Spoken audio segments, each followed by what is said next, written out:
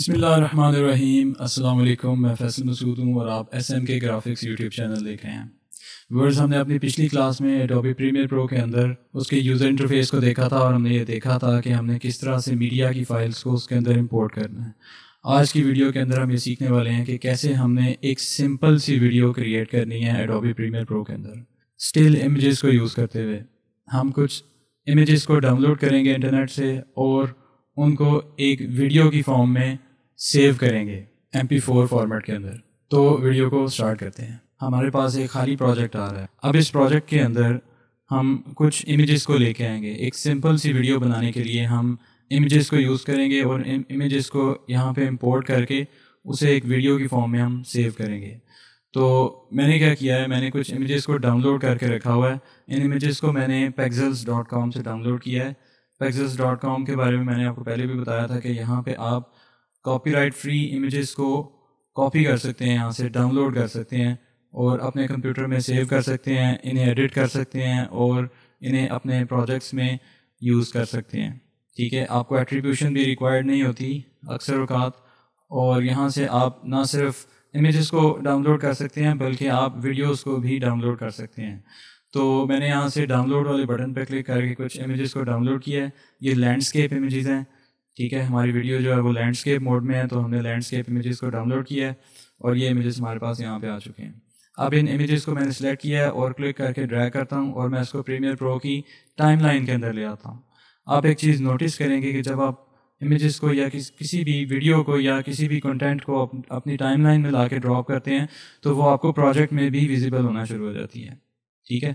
तो आप जब इसको प्ले करके देखते हैं तो वो देखें कि आपके जो ये इमेजेस हैं ये आपको इस प्रोग्राम वाली विंडो के अंदर नज़र आने शुरू हो गई है और आपको वन बाय वन ये सारे के सारे इमेजेस यहाँ पे शो होना स्टार्ट हो गए हैं। आप एक चीज़ नोट करें कि कुछ इमेजेस बड़े हैं, कुछ इमेजेस छोटे हैं तो इसकी रीज़न ये है कि इन जो डिफरेंट इमेजेस आपने डाउनलोड किए थे, उन सब का जो साइज़ था वो डिफरेंट था। ठीक है तो इस वजह से हमें इमेजेस छोटे बड़े नज़र आ रहे हैं। और ये जो आपका फ्रेम का साइज़ है, आपके वीडियो के फ्रेम का साइज़ है, ये उसने ऑटोमेटिकली सेट कर दिया है पहले इमेज के मुताबिक। देखें, पहला इमेज जो है बिल्कुल फिट आ रहा है। ठीक है, इसके अकॉर्डिंग उसने इसके फ्रेम साइज़ को सेट कर दिया और बाकी सारे जितने भी इमेजेस हैं वो उसी फ्रेम के अंदर बड़े या छोटे आपको नज़र आ रहे हैं। तो अब हमने इसके फ्रेम साइज़ को चेंज कैसे करना है? इसको हम बोलते हैं सीक्वेंस सेटिंग ठीक है, आपने सीक्वेंस की सेटिंग्स में जाके इसके फ्रेम साइज़ को चेंज करना है। तो आप यहाँ पे ऊपर मेन्यू बार में देखें, आपको सीक्वेंस लिखा हुआ नज़र आ रहा है।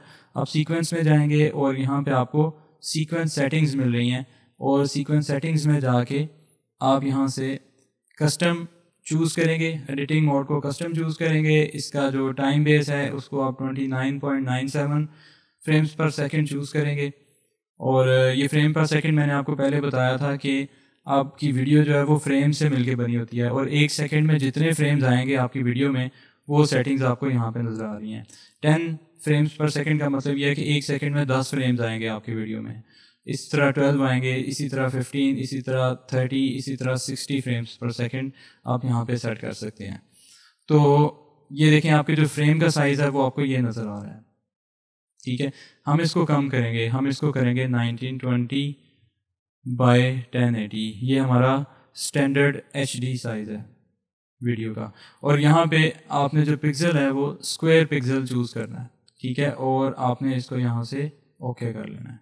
तो अब आप देखेंगे कि आपका जो फ्रेम का साइज़ है, वो कम हो चुका है और इसके अंदर वाले इमेजेस आपको कुछ बहुत सारे इमेजेस आपको बड़े नज़र आना शुरू हो गए हैं क्योंकि वो फ्रेम से बाहर जा रहे हैं।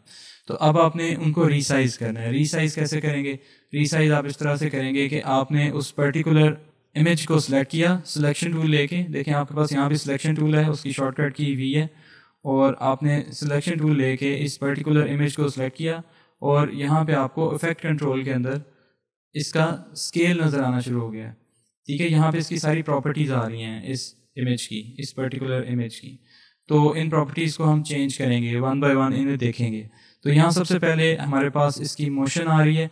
मोशन के अंदर पोजीशन आ रही है। लेफ़्ट और राइट अगर आपने इसको करना है या अप एंड डाउन करना है तो आप इसकी पोजीशन यहाँ से बदल सकते हैं। और ये स्केल है। इसके स्केल को क्लिक करके लेफ़्ट साइड पर ड्रैग करेंगे तो वो उसको स्केल डाउन करेगा या जूम आउट करेगा। ठीक है? आप इसे अपनी मर्ज़ी से यहाँ पे सेट कर लें। उसके बाद अगले इमेज पे जाएँगे। अब ये अगले इमेज पे हम किस तरह आए हैं? ये हमारा जो प्ले हेड है प्ले हेड को ड्रैग करके हम अगले इमेज पे लेके आए हैं। जब हम प्ले हेड को ड्रैग करके मूव करते हैं तो हमारा यहाँ पे प्रीव्यू चेंज होता है। ठीक है?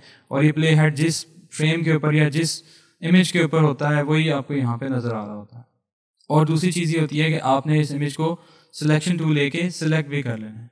जब ये सिलेक्टेड होगा तो आपको इस तरह से हाईलाइट हुआ हुआ नज़र आ रहा होगा।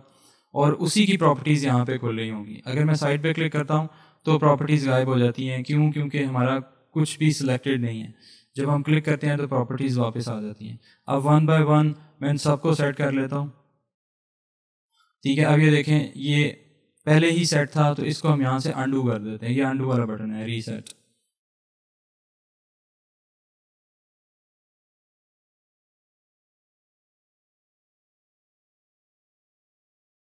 जब हम ये सब कुछ कर लेंगे तो अब हम इसको सेव करेंगे।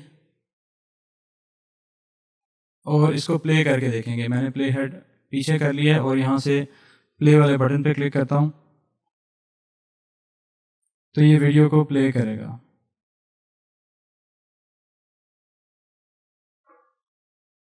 ठीक है, आप ये देख रहे हैं कि उसने इन इमेजेस को एक वीडियो की शक्ल दे दी है और उसने इसे प्ले कर दिया है।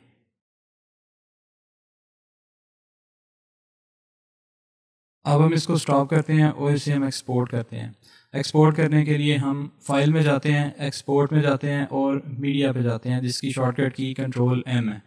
कुछ शॉर्टकट कीज़ आपने याद कर लेनी है तो ये शॉर्टकट कीज़ आप बार बार यूज़ करेंगे। जब आप वीडियो एडिटिंग कर रहे होंगे, आपको हेल्प भी करेंगे और आपका टाइम भी सेव करेंगी।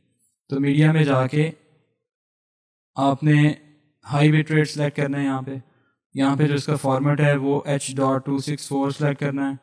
हाई बिट रेट सेलेक्ट करना है और यूज़ मैक्सिमम रेंडर क्वालिटी इसको आपने टिक कर लेना है। और यहाँ से आप देख रहे हैं कि आपके जो इस आउटपुट की लोकेशन है वो क्या है। ठीक है, अगर आपने इस लोकेशन को चेंज करना है तो आप यहाँ पे आउटपुट नेम के ऊपर क्लिक करें। आप इसको रीनेम भी कर सकते हैं। और आप इसे अपनी मर्ज़ी की लोकेशन पे सेव भी कर सकते हैं। मैं इसे डेस्कटॉप पे सेव कर रहा हूँ। और सेव पे क्लिक करूँगा और यहाँ से अब मैं इसको एक्सपोर्ट करूँगा। यहाँ पे आपको ये सारी की सारी सेटिंग्स दिखा रहा है अपने इस वीडियो की, और यहाँ पे आपको दिखा रहा है कि आपकी वीडियो का जो एस्टिमेटेड फ़ाइल साइज़ होगा वो क्या होगा। तो मैं यहाँ से इसको एक्सपोर्ट कर लेता हूँ।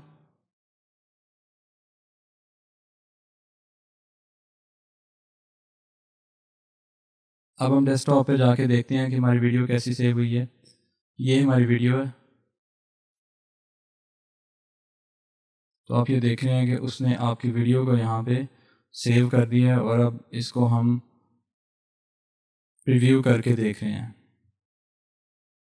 और ये वीडियो का जो फॉर्मेट है वो एम पी फोर है। देख रहे हैं M P four M P four ऐसा फॉर्मेट है जिसको आप सोशल मीडिया पे भी यूज़ कर सकते हैं, अपने कंप्यूटर में भी यूज़ कर सकते हैं मोबाइल डिवाइसेस में भी यूज़ कर सकते हैं, हर जगह से आप यूज़ कर सकते हैं। ठीक है? और आपकी फ़ाइल का साइज़ भी ज़्यादा नहीं इंक्रीज़ होता।